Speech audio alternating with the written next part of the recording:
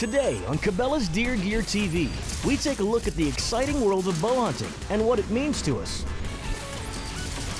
We check out some essential gear from the Blackout lineup. And finally, we'll go on an archery hunt with Clark Wendlandt. All this and more here on Cabela's Deer Gear TV.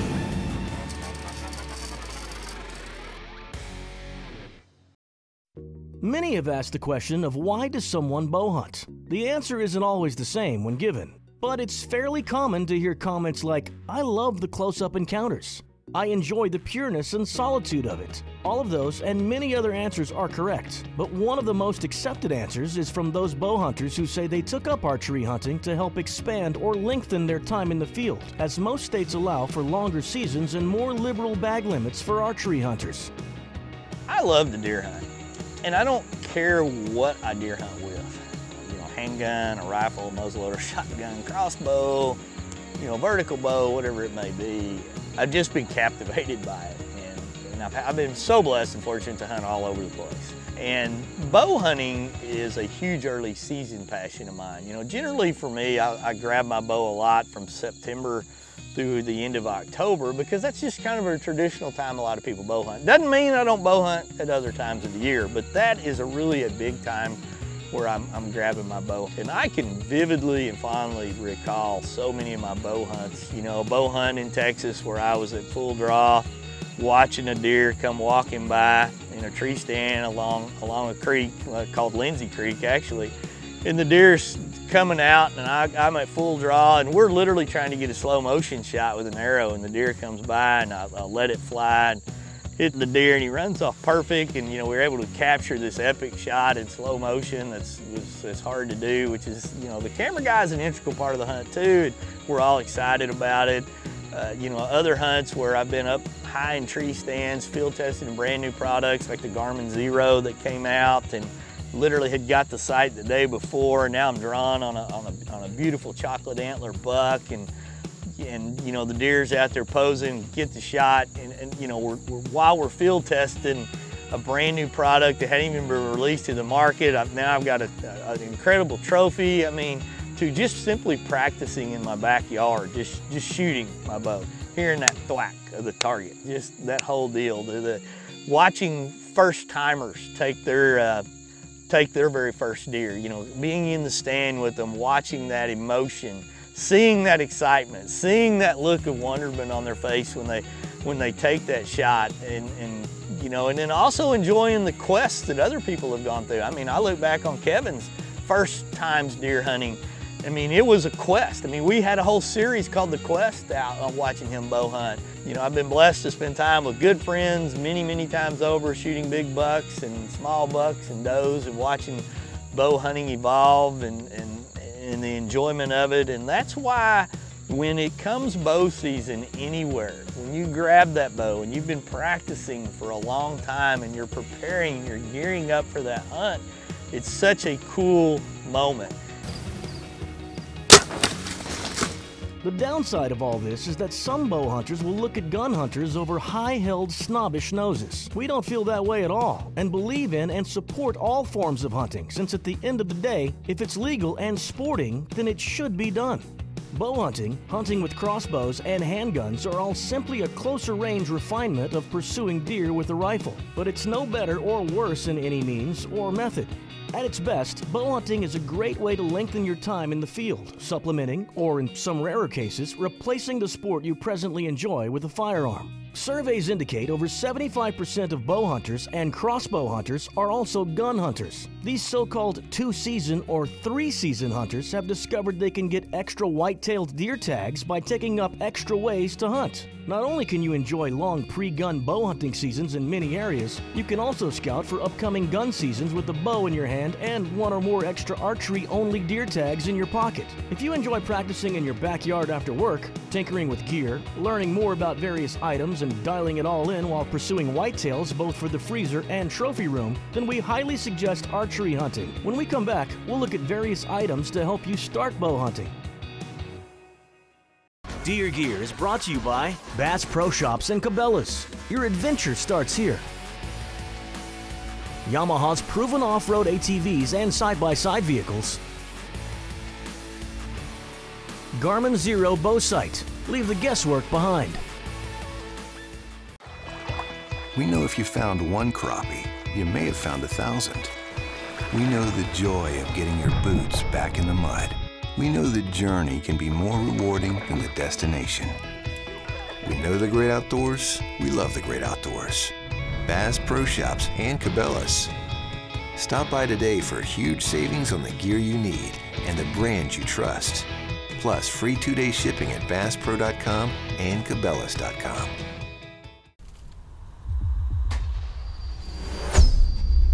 How do you aim a 36-yard shot with a 30-yard fixed pin at a 15-degree angle with a 7-inch holdover without moving a single pin? Easy. You get one of these.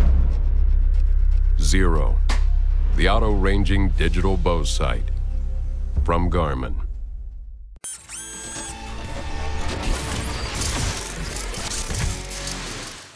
While bow hunting has a specified time and season depending on the state you're hunting in, it requires almost a year-round commitment. You know, in a bow hunting scenario, you, you probably spend more time preparing in the off season than you do about any, anything else. That's not to short sight rifle hunting at all. Um, however, the muscle memory required in an archery hunt is a little greater.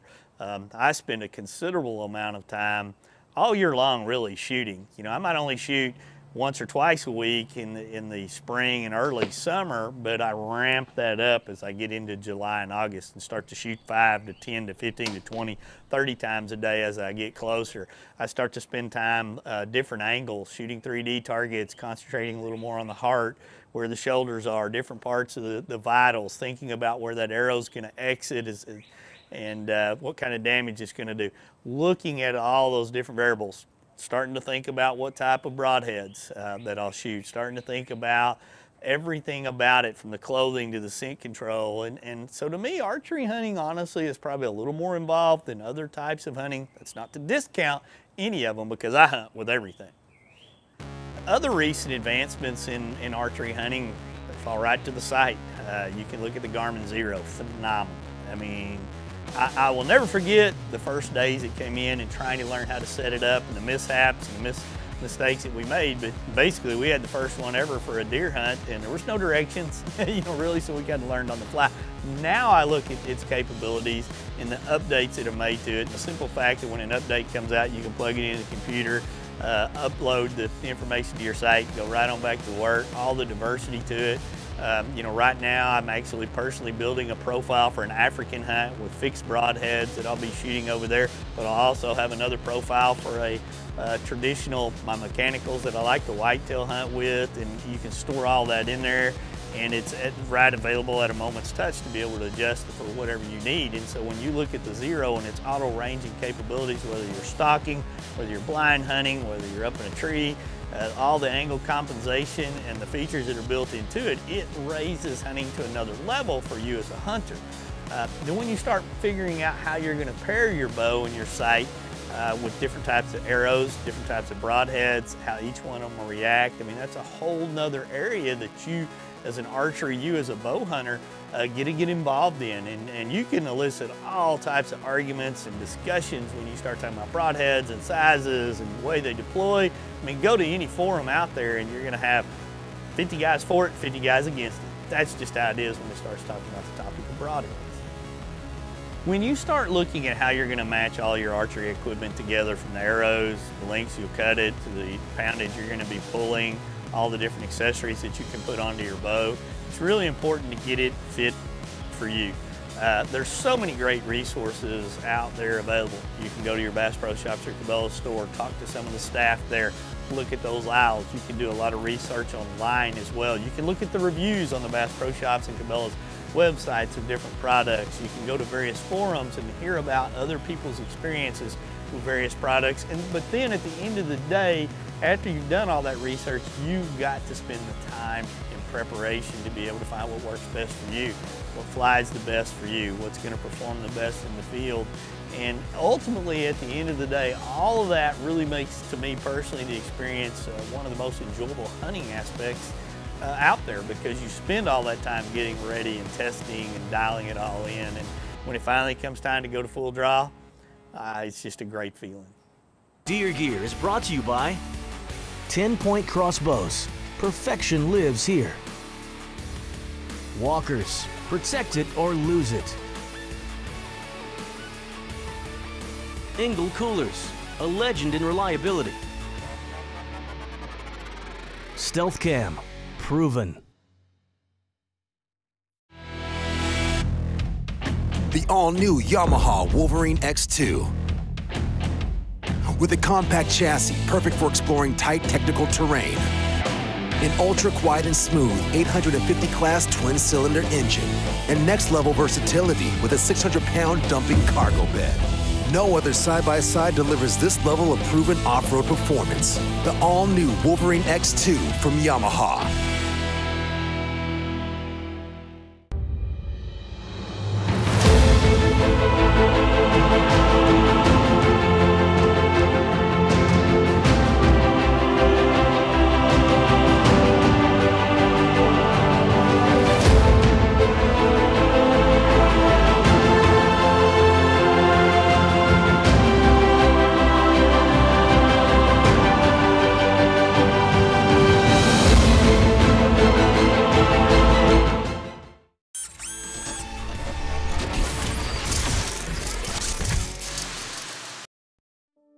As we highlight gear we use for bow hunting, let's take a behind the scenes look at Wade's bow hunting camp from a hunt he did last year in Kentucky and see what gear he brought along for this trip.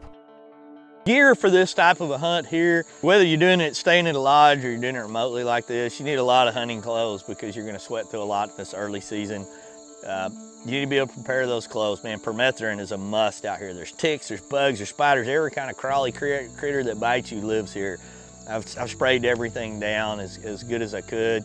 One of the things we like to do is treat our clothes, treat our hunting gear. Uh, you can even treat your boat with some of this stuff here, but it's the Sawyer permethrin, and it's designed to be able to be used multiple times over and over. You know, in that type of situation, you can wash the same clothes multiple times uh, after you've treated it and still get the benefit of it. I spray it on my boots, I spray it on all my outerwear, I spray it on my turkey gear when I'm out bow season. I live and die with it all the time, help keep the mosquitoes and those old ticks down. Um, you know, you, want to read all the directions on there, pay attention to all the warnings on there, make sure you, you know, you use it the right way and you're going to get benefits off of it. I'm not saying you're still not going to find a tick, but I'm going to say you're going to eliminate and lessen the chances of, of them getting on your clothes. You know, they're going to go to your buddy that didn't use it a lot of times because, you know, he wasn't smart enough to get prepared. And uh, then when he says he found a tick, you don't even have to worry about scratching. You don't have to worry about catching the itch. You don't have to do the tick dance and looking down your pants and looking around your waistband because you know you protected yourself. So take a little tip, a little Sawyer permethrin, and avoid the tick dance. You know, in a good remote hunting situation, or even when you're doing a, you know, out with the family at a, a state park or anything, good coolers are gonna be a must. I mean, this ice is, you know, we've been here since basically. I packed this cooler on Tuesday of last week and it's Tuesday this week. We put one uh, other bag of ice in here since we got here and you can see all the work that Angel did before we left. When we left, these things were totally full with, we had all kinds of different venison Salisbury steaks, we had venison meatloaf. Now we're down to chicken and dumplings and taco chili soup, but we still got ice and everything's still cold. Of course, when you go over here behind me, you see the cameraman's digs. They're they're not roughing it by any means. They got air conditioning and everything, and a, uh, you know, refrigerator, satellite TV. You know, on this end of the camp, you see Steve and I's digs over here, but uh, that's okay. I don't have to hear snoring at all when I'm in my tent. So the tents have been very comfortable. Uh, the rain covers have been the deal because we saw rain early in the hunt and the dew every morning has been incredible. But, you know, just a little behind the scenes look at some of the things we've got set up here at the camp and how we're surviving for a week. One thing to do when there's downtime at camp between your morning and afternoon hunts is to practice shooting your bow at targets that you've brought along. Let's hear more about that from Wade. You know, when it comes to targets, um, I like to shoot a, a, block type target when I'm really dialing my bow in, trying to, to aim at the exact same spot over and over because a lot of times you're gonna have small places or points of aim on those targets that allow you to focus your aiming point. And that'll help you get your groups really tight and understand that the bow is doing everything the exact same time. I like to shoot the blackout targets. They're easy to get the arrow in and out. They've got lots of different sides to them and they're basically economically enough I can shoot one up in one year because I like to shoot a lot. When I go to a 3D target, um, once again, I, I, like that part and I tend to migrate to my 3D targets of, of a white-tailed deer, any species that I'm gonna be shooting at as I get closer into the time of the year that I bow hunt a lot. The reason I do that, it's very simple. It, it allows me when I'm shooting a 3D target to be precise and focused on different uh, parts of the, the, the, kill zone. You know, here's where the heart is, here's where the lung is, here's where the liver are. Now, I'm not saying that these deer targets are perfect and they're gonna be, you know, exact every time on where the, the, uh, the vitals are, but it gives you a 3D aiming point without the uh, all the crosshairs and all the, the exact aiming points built in. So now you as the hunter have to practice all the different angles that you may encounter while out in the field. I'll even at times play in a little red dot sometimes on some of my uh, uh, targets. So I've got even more of a focal and an aiming point so that I can be focused to where I want to see that arrow hit while I'm thinking about where it's going to exit so that I know that I'm hitting as many parts of the vitals as I possibly can. Head on over to your local Bass Pro Shops or Cabela's to check out the blackout targets and the full blackout lineup of archery equipment. Deer Gear is brought to you by Conquest Scents, Hunting and Dog Scents, Sawyer Products. We keep you outdoors. Thompson Center, America's master gunmaker.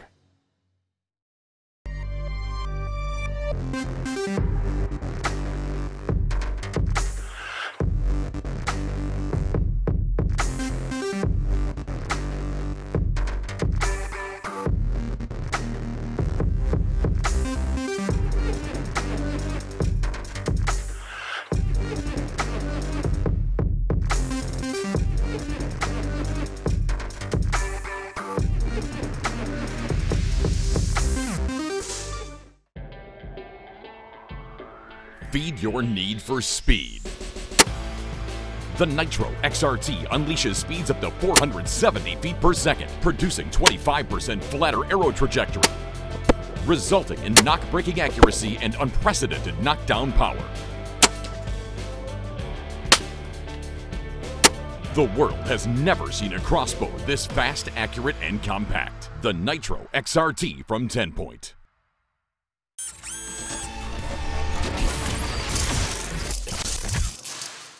You know, white-tailed deer are arguably the most popular species in North America for people to, uh, you know, to hunt with with their bows, hunt archery wise, and uh, it is for me. It's a big passion. Uh, you know, I get to go on several, four or five different uh, dedicated archery hunts a year. Love the feeling of climbing up in a tree stand or easing into a pop up in the dark and setting up and getting the, the game in really close. And you, you know, everything has to be perfect. Your movements, you got to be still, and uh, everything's got to work in your way. You got to concentrate on. I mean, it's just everything has to go good when it comes to bow hunting. To wrap up this episode, we'll join Bass Pro Shops and Cabela's ambassador Clark Wendlandt as he goes on an archery hunt near the Pedernales River on the edge of a wooded clearing. As Wade said, let's see if everything goes right for Clark. What's happened in that clearing is, and more or less a clearing, I mean, it looks really heavily wooded when you look at it, but those deer come in there and they just chase doe. Deer like chasing doe in open ground. Those doe like being in open ground. And if they can get in some semi-open area, that's where they'll chase. And we saw a lot of rut activity in this area. This hunt takes place on the banks of the Pedernales River. It's one of the most scenic and pretty places I've ever been. The river is amazing, but just the rock and how rough this country really is. It's hard to realize how many big boulders and how thick this country is. Got cedar, got persimmon, got live oak, got post oaks. It's got a little bit of everything as far as brush go, but one thing we've learned over time is, is that it'll grow some pretty big deer. There's two nice 10 pointers that, you know, have, have kind of worked their way and they're chasing doe and doing their thing, and all of a sudden everybody puts their heads up and they look back. There's no question, he's no doubt mature. He's got a giant neck. He's, his horns are big, they're heavy, they're wide. I mean, it's like one look, grab your bow and get ready. Bow up on this bow. Here he comes, here he comes. I tried to hunt this deer when he was first mature, probably five years old, and had several opportunities at him, but I couldn't kill him. And then this year, I actually had one other opportunity. He comes in and he gets like 45 yards away, but where he was, he was in some thick brush. Or at first, he might have been in range, but the camera couldn't see him. And so, you know, as it turned out, I didn't get a shot at him. And man, one thing about it is when you get an opportunity at a big deer, especially during the rut, you gotta take advantage of it.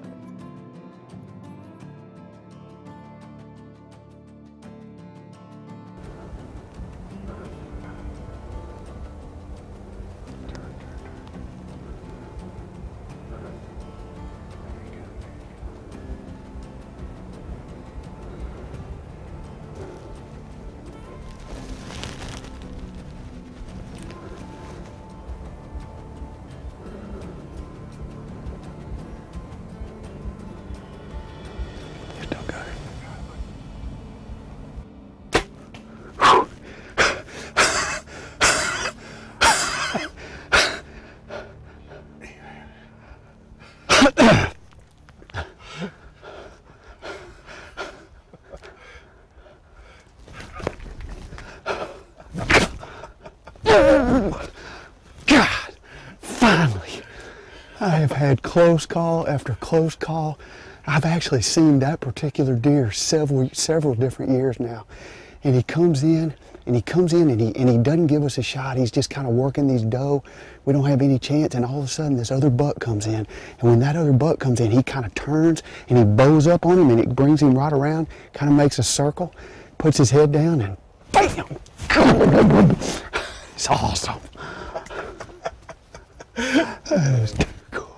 I was shooting a BPS blackout bow. Now, this is my first experience with a blackout. When I got that bow, it was extremely easy to tune. It, it is able to adjust to a lot of different draw lengths. So my draw length's about 29 inches. That was easy. As far as paper tuning it goes, I paper tuned it, shot bullet holes almost immediately. So that made me feel good. The cool thing about this bow is it's easy to shoot and it's fast. I've got mine set on about 62 pounds and those arrows, it's like driving tires. Here's blood right here. You can see blood splattered. You see it? Tracks, you can see he's digging hard. There he is right there. Oh my gosh. Look at this deer.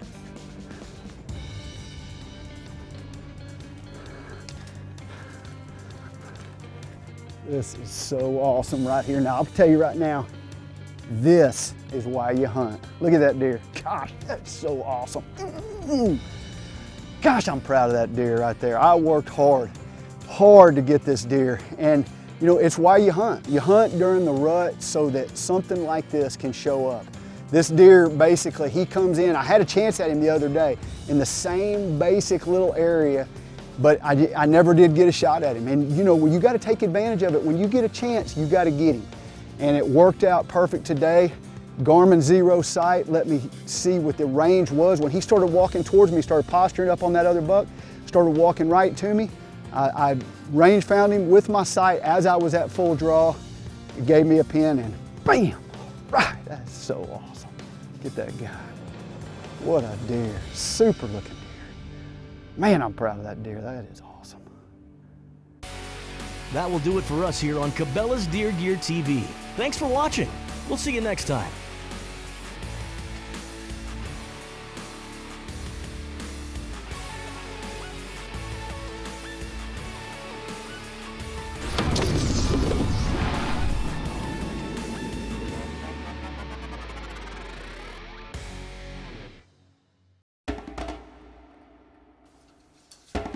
Protect it or lose it.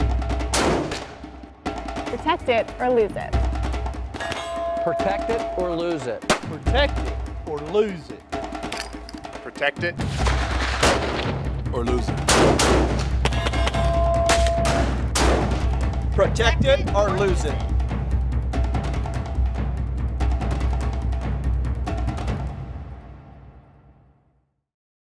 For precise prescription eyewear, Wiley X knows there's no room for error. We meticulously craft our own prescription lenses to fit our high-wrap frames. And our ANSI safety-rated lenses are tested to uncompromising standards. Nothing but precise. Because precision is everything. Many said that we were just obsessed when we started, that there had to be an easier way to smoke food. As time passed, the Bradley family created a lineup of Bradley electric smokers that has made it easier for the novice or even expert chef to get perfect results every time they use it. Grab yourself a Bradley smoker and take your cooking to an all new level.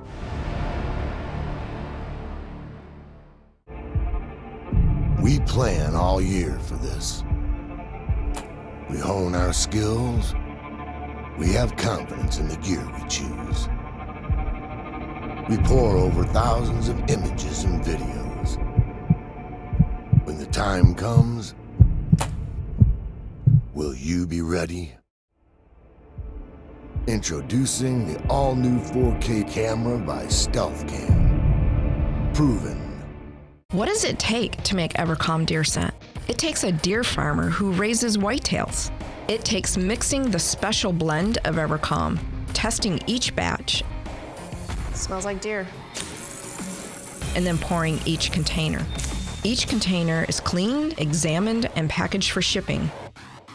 It takes the finest deer herd and a great team of people to make the best hunting scent available. Evercalm from Conquest Scents. Want to know why the top shooting pros choose HiViz? HiViz has an enormous lineup of sights for every shooting platform possible that are clean looking and easy to mount. Improve your shooting with faster target acquisition and eliminate cross-eyed dominance. HiViz sights are the brightest out there, helping you find your target with ease no matter the shooting conditions. Choose the best. Choose HiViz and see what you've been missing. Nobody likes crawling, creepy, or flying bugs so ward them off with Sawyer permethrin. It's more than a repellent. This odorless spray repels and kills mosquitoes, ticks, and more than 55 other kinds of insects. Sawyer, we keep you outdoors.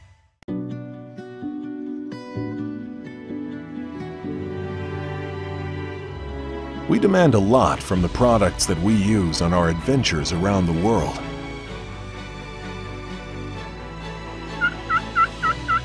When it comes to keeping things seriously cold, we rely on Engel Coolers, who have for over 50 years kept things cold. Engel Coolers, the original high-performance cooler.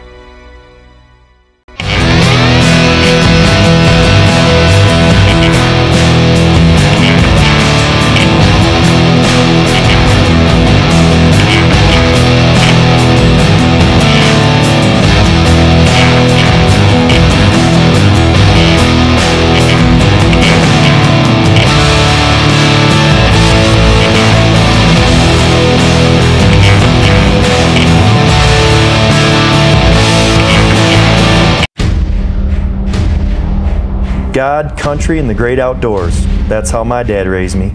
So it was only natural that I joined the United States Army. That's when I first used Trijicon. I used them again as a civilian police officer for 12 years. Now I'm blessed to hunt all over the world, and I only want the best optics on the planet, Trijicon. Dan Catlin, former U.S. Army, military police. Trijicon, Brilliant aiming solutions.